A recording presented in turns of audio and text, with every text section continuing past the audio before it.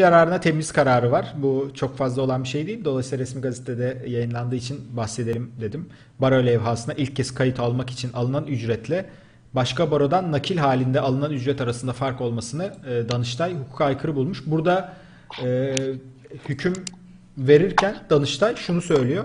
Bu aradaki fazla alınan bedelin faiziyle birlikte başvurucuya iade edilmesi, davacıya iade edilmesi gerekir diyor. Ama burada acaba yani çünkü kanun yararına temiz adı üstünde. Yani burada e, neyi söylüyoruz? Hukuki sonuçları değiştirmeyen bir karar bu. Bu sadece buradaki hukuk aykırılığı ortaya koysun ve yanlış bir içtihat oluşmasın diye e, yapılan bir şey aslında. E, o yüzden adı kanun yararına temiz. Belki de hani şah, şahıs yararına olmadığı anlaşılsın diye. Ama Danıştay'ın ifade ediş şeklinden sanki Danıştay burada o paranın faiziyle birlikte ödenmesini emrediyormuş gibi anlaşılıyor. Ben öyle anlıyorum. Ee, ama böyle bir şey mümkün değil sanki.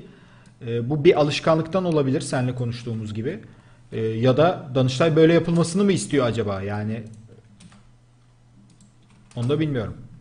Ben şimdi karar metnini açacağım. Danıştay'ın ne söylediğini göstereceğim.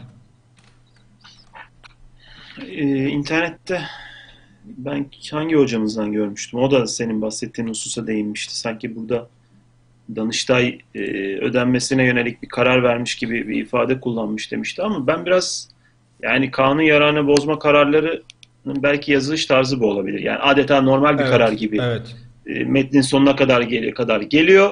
En sonunda da açıklanan nedenlerle Kanun yararına deyip, bozulmasına diyor e, mesela. Bozulduğunu söylüyor sanki Evet. gibi e, anlıyorum. Diğer türlü ise hem kanun yararına temiz deyip hem de e, bunu ödenmesi gerekiyor demesi e, enteresan olabilir. Ama mesela enteresan hususlar var. Kanun yararına bozmayı biz usul hukukuna dayanarak böyle yorumluyoruz ama mesela bundan sonra İYİKON başvurusu yapılabilir mi? Yapılabilir mi sence? Bunlar biraz ne engel engelimiz var bu noktada?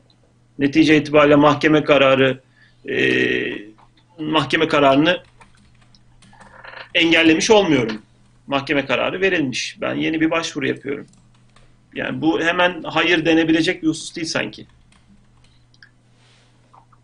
Kitaplarda buna ilişkin son zamanlarda kim yazmıştı? Kanun yararına bozma ilişkin bir idari yargıda e, bir makale var. Orada var mı bu tartışma onu bilmiyorum ama Yani bence hemen hayır denebilecek bir husus bu, değil bu, sanki. bu bedelin talep edilebilmesi için idareye başvurulabilir. Bu, bu, bu taleple.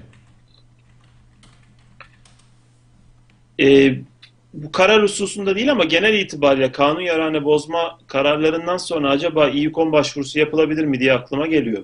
Ama bu karar üzerinde tam emin değilim ona bir şey söylemeyeyim. Ee, şeyi bulmaya çalışıyorum şimdi. Bir dergi parkta bir makale gözüküyor. Dergi parkta Hmm. ne kadar Kim? zaman önce.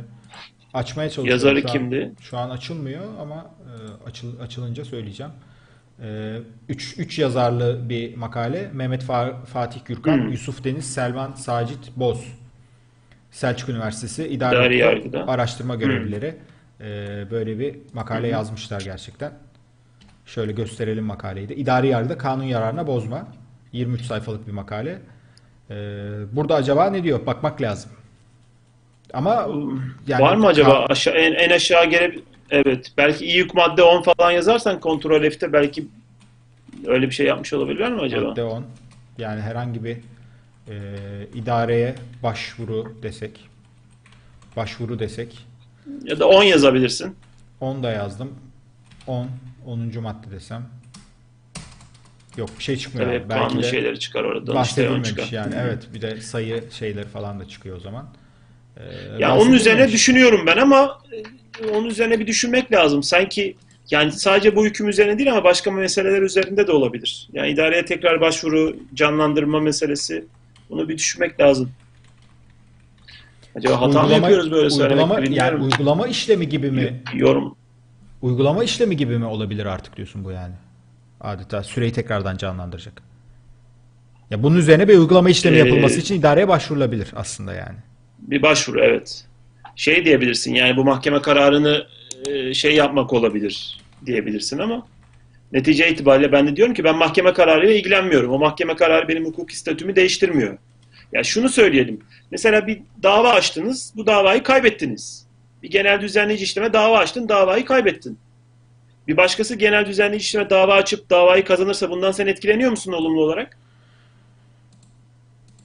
E, Etkileniyorsun. Etkileniyorsun tabii. Etkileniyor. Netice itibariyle işlem ortadan, kalkıyor. Demek ki mahkeme kararını her zaman e, dolanmak olmuyor yani yeni bir husus. Burada da kanun yararına bozma verilmiş. Kanun yararını bozma mahkeme kararının hukuka aykırı olduğunu gösteriyor. Acaba tamam bu ka- mahkeme kararı duruyor. Ben yeni bir başvuru yaparak e, bunu talep etsem bu mahkeme kararının sonuçlarını ortadan kaldırmış oluyor muyum diye düşünebilir mi diye şey yaptım sadece. Bir soru soruyorum. Biraz araştıracağım bunu. Belki haftaya e, bunun üzerine konuşabiliriz. Belki e, yorumda izleyen, bizi izleyen arkadaşlarımız da belki buna ilişkin bir şey yazabilirler. Fikirleri varsa.